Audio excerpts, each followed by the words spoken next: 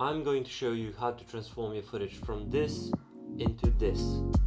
What is up everyone, my name is Danilo and today I'm going to be showing you how you can easily make your footage look like as if it was shot with an anamorphic lens. Now the three most noticeable things when you watch footage taken with an anamorphic lens are wider footage, lens flares and oval bokeh. And the only thing that we will not be replicating here will be oval bokeh because that way we'll be distorting our footage and we do not want to do that. So we will end up just adding lens flares to our footage and making it look wider. Now to do all of that I'm going to be using DaVinci Resolve which is a free program for editing, color grading, sound design, visual effects. So I'm going to be using that and let's hop into DaVinci Resolve. So now we are in DaVinci Resolve and I've got my footage dragged into the timeline and I'm using some footage of a BMW that I used for a video I did before and the reason I'm using this footage is because the headlights of the car are turning on and that is the point where I want to add lens flares and there's an easy way to do it and there's a harder way to do it. Obviously the harder way is going to be the better way and we're going to see better results. Alright so the easy way to do it would be just to go to OpenFX and filters and search for glow and add that to the footage.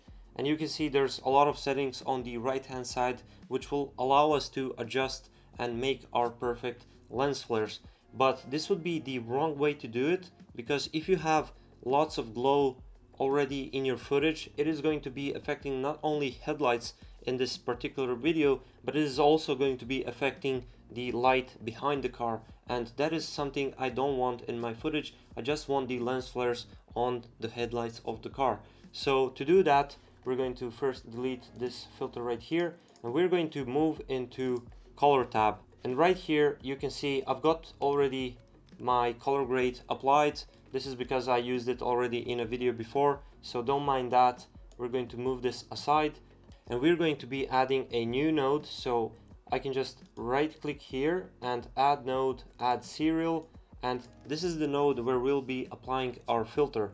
And to find our filters, we're going to go into effects right here. We're going to search for the glow effect again, and we're going to add that to our node. Now we're going to adjust the settings and the first setting that we get is the select output and we want to always have it on glowing image. You do not touch this setting. The second setting is the shine threshold. So the shine threshold is very important and the lower we put the shine threshold the more light it is going to be added to the glow. And we want to keep that somewhere around the default 0.75 and 0.9 I find that to be the golden middle ground for this effect and I'm going to put it at 0.85. Now the second part of settings is shape and spread and the most important setting in this part is the HV ratio which is the horizontal to vertical ratio and this setting is going to make our lens flares either vertical or horizontal and we want to make them horizontal so we're going to increase this to the maximum which is 1 and as you can see already there is some horizontal lines coming from our headlights now we want to increase the spread because we want our lens flares to be a bit longer than this this is really too short so we want to keep it spreading and as you can see it is also spreading above but we will fix that in the color tab. But first, let's make our lens flares. We're going to increase the relative spread of red, green and blue to the maximum as well. And now we come to the settings called color and composite. So in color and composite, we're going to be adjusting the gain, the saturation and the color of our lens flares. So the first setting is gain and that is going to be increasing the strength and the exposure of our lens flare. And I'm going to be leaving that somewhere around 1 and 1.25 I don't think you should go over that. This is just fine. The next setting is gamma and we want to leave it as is now for saturation you're obviously not going to see any difference if you're using white lens flares. So we're going to adjust the color first and then we're going to adjust the saturation. So for the color I'm going to be using a blue color that most of the anamorphic lenses have the blue lens flares. So I'm going to be replicating that and to do that I'm going to click the color filter.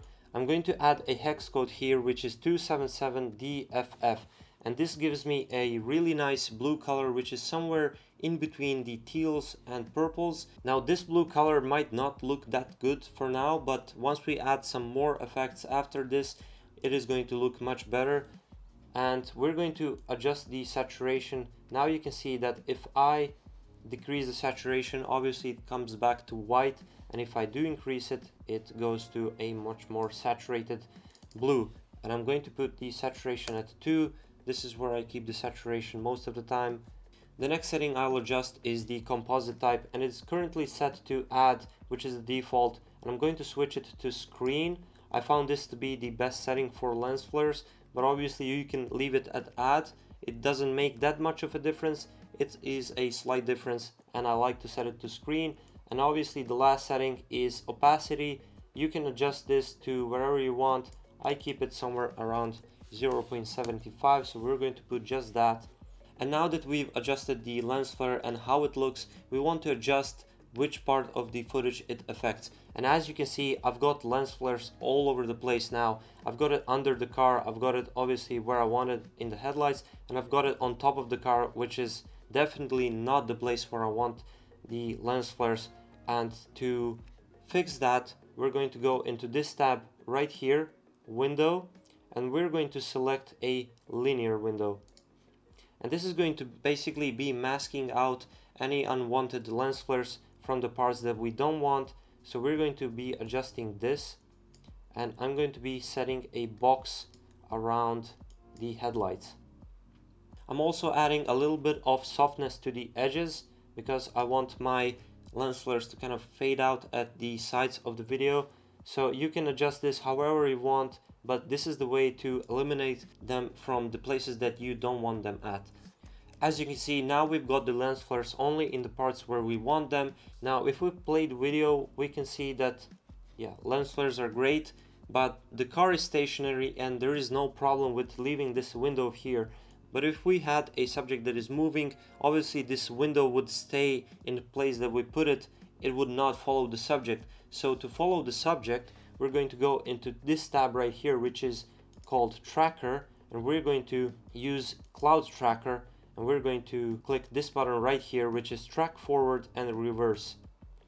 And it is going to do its work. As you can see it's tracking the subject. And now that it's complete you can see that the window that we set is now tracking the subject which we set it to and it is perfectly tracking the headlights and we've got perfect lens flares so now even if the car was to move from this place it would track the headlights of the car now I showed you how you can add lens flares to your footage and how you can make the mask window track your subject that you're adding your lens flares to. But I want to spice this up a little bit and add some glow to this lens flares, not just leave them as these blue flat lines. So to do that, I'm just going to create another node and instead of adding a serial node after this node, we're going to add a serial before. As you can see it created a node before our node that we added the lens flares to and we're going to select our lens flare node click Ctrl C which is copy and click Ctrl V which is paste and we've basically pasted the same exact effect to the node before but we're going to switch the color from blue to white. And as you can see it is adding a bit of white glow in behind the blue glow but we're going to adjust this a little bit differently because it's white glow and we don't want it to be stronger than our blue glow. So we're going to go to gain and reduce it a bit. We're going to set the opacity to 0.5 and we can go back to our blue glow and increase the gain if we want. You can basically adjust the settings the way you want. So for these settings this is fine. Gain 0.75 gamma 1 saturation it doesn't matter.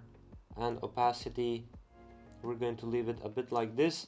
So now if we disable the second node here which is our white lens flare we can see that there's some difference to it as with the blue flare the white flare also has the same mask window and it is going to be perfectly following the blue flare So now we've got the white flare also added behind the blue flare and the reason I put it behind is it makes it a bit less strong and it makes it look like it is really behind the blue flare. If we put it after the blue flare, the white flare is going to dominate the blue one.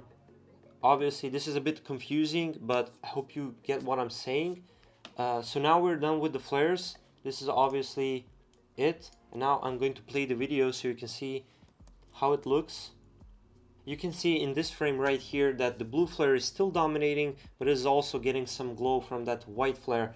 And you can see that the mask window that we added to the flares made them look a little bit less intense in the edges of the footage, which is the effect that I wanted to get.